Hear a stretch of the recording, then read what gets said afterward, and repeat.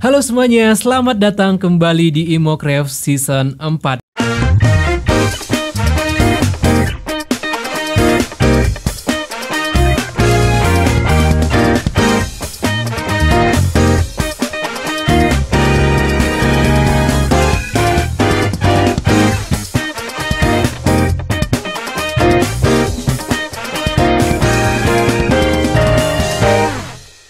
Oke, jadi di sini aku sudah sedikit mengupgrade baseku guys. Kalian bisa lihat seperti ini. Aku cuman menambahkan pagarnya doang dan membuat rumah kecil di sini. Kalian tahu sampah? Ini sampah. Ya, buat perlindungan doang sih ini. Aku akan bikin hoe juga di sini. Uh, stickku masih ada nggak ya? Um, kayaknya udah habis. Oh, masih ada satu ternyata. Ya udah aku bikin aja sticknya satu. Kayak atau dua gitu. Nah oke kita bikin 4 dan kita bikin hoe-nya Dan aku akan langsung saja membuat farmnya mungkin di sebelah rumah kecil kita ini Aku akan bikin dulu atau gali gitu di sini ternyata bolong guys di bawahnya. Aku akan coba tutup bentar. Oke, kemudian kita letakkan airnya dan kita bersihkan semua rumput ini. Kemudian kita tanam.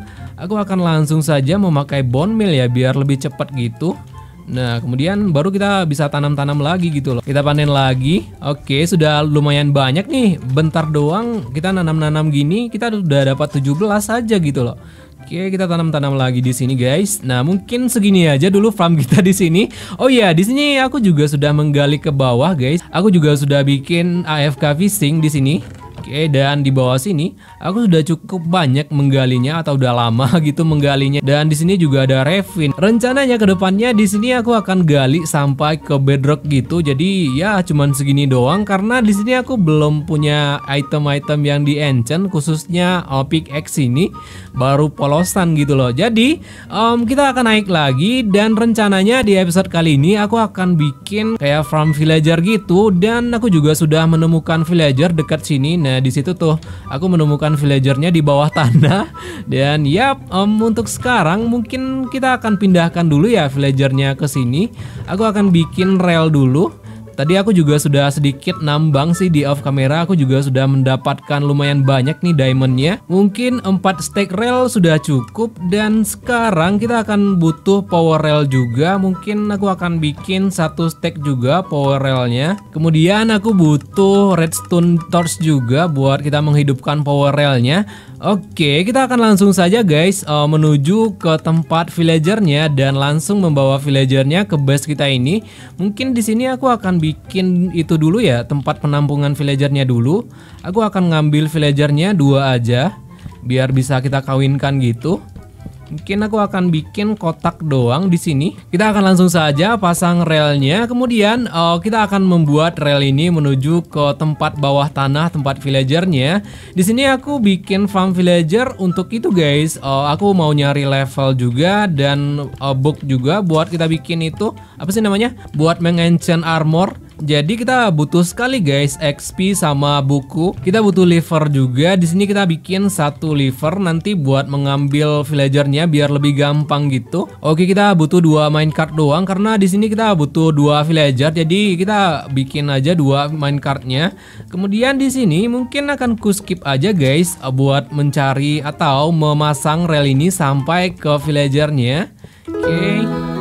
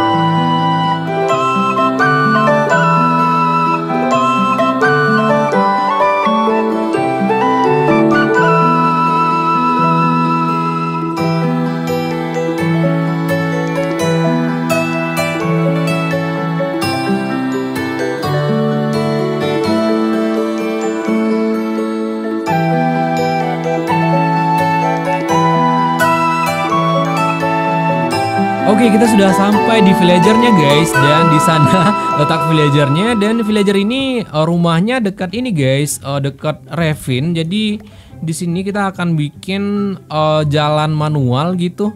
Nanti nggak apa-apa kita bersihkan lagi setelah kita ngambil villagernya. Semua relnya kita bersihkan lagi nanti kita akan pasang-pasang dulu relnya ini sampai ke bawah sana. Semua power railnya sudah aku pasang di sini. Sekarang kita akan coba dulu guys, apakah main cardnya kuat sampai ke atas. Jadi kita akan tes dulu guys. Dan sebelum itu, di sini aku akan memperlihatkan kepada kalian dulu uh, villager yang ada di sini. Nah, seperti ini guys, ada farmnya juga di sini. Kita cek dulu mana tahu udah hilang semua gitu loh villagernya. Di sini ada chest. Oke. Okay. Oh, Jangan-jangan udah habis nih villagernya. Kita sudah susah payah masang. Oh, ternyata masih ada guys. Aman-aman. Oke. Okay. Oh ya, kita cek dulu guys. Di sini aku menemukannya sekali doang, jadi aku belum terlalu menjelajahinya. Mana tahu best orang gitu loh. Di sini juga ada villagernya. Kayaknya di sini villager dari itu ya, dari swim gitu ada hijau-hijaunya gitu di kepalanya. Oke, dan kita akan coba lihat mana tahu ada signnya gitu. Kalau misalkan ada signnya berarti ini adalah base orang. Kalau misalkan nggak ada signnya berarti ini om villager alami guys. Oke, nggak ada yang punya gitu loh. Kita cek dulu. Di sini juga ada farmnya. Di sini ada juga. Oke, berarti di sini nggak ada yang punya kayaknya guys. Biasanya kalau ada yang punya itu pasti ada tanda-tanda chestnya atau apa gitu, signnya gitu. Tapi di sini nggak ada gitu loh. Jadi di sini juga ada emerald nih. Kita jangan hancurkan aja nih villagernya. Sayang kalau dihancurin. Jadi kita akan ngambil villagernya doang nanti. Oke, okay, sekarang kita akan langsung saja mengetes minecartnya. Oke, okay, kita tutup lagi jalan untuk masuk ke dalam villagernya. Kemudian di sini kita akan langsung saja mencoba ini minecartnya apakah kuat sampai ke atas gitu. Kita hidupkan levernya. Dan ternyata nggak bisa guys dari sini. Berarti kita akan pindahkan dulu levernya ke bawah gitu biar lebih gampang kita menghidupkan power rail yang ada di bawahnya. Mungkin kita akan pindahkan ke sini doang nanti kita ganti lagi gitu loh. Oke, kita naik dulu kemudian kita pasang Olivernya di sini. Oke. Kita lihat apakah sampai ke atas. Oke, kayaknya sudah sampai ke atas, guys. Oke, berarti berhasil di sini. Dan sudah malam ternyata. Kita hancurkan dulu. Sekarang aku akan pasang lagi um, power railnya sampai ke base kita ke sana. Oke, semuanya sudah selesai di sini dan sudah sampai ke base kita. Kita akan langsung saja ngambil villagernya. Aku di sini akan bikin itu dulu dong. Oh, barang-barang yang gak guna kita masukkan dulu ke dalam chest ini. Aku akan bikin bot dulu di sini biar lebih gampang gitu kita buat ngambil villagernya. Nanti tenang aja di sini semua relnya nanti kita akan bersihkan lagi guys biar nggak melanggar peraturan gitu. Kita akan langsung saja ambil villagernya di sini. Oke, kayaknya di sini terlalu penuh inventoriku. Oke, kita sudah dapat satu. Kemudian kita akan langsung saja bawa ke belakang guys. Oke. Um, mudah-mudahan berhasil ya. Oke, kita coba di sini apakah bisa lewat slab? Oh, ternyata nggak bisa lewat slab, guys. Um, berarti di sini kita akan ini dulu, datarin dulu semua lantai di sini biar lebih gampang gitu kita membawa villagernya. Oke, kita sudah dapat satu villager di sini. Kita akan bawa villagernya dengan hati-hati, guys, jangan sampai jatuh ke bawah gitu. Oke, di sini tadi aku juga sudah mendatarkan lantainya. Nanti nggak apa-apa, nanti aku perbaiki lagi. Aku bikin seperti semula lagi, guys, biar oh, nggak menghancurkan villagernya. Oke, kita akan langsung bawa ke tempat ini, guys, ke tempat penampungan villager. Oh, no, ada ini, guys, ada si zombie. Kita kill dulu zombinya. Oke. Kayaknya di sini lumayan gelap di atasnya. Mungkin aku akan makan dulu di sini. Om, kayaknya di atas sana juga ada. Assalamualaikum, Mama. Oh. Om. Kaget sumpah. Oke, untung nggak mati villagernya.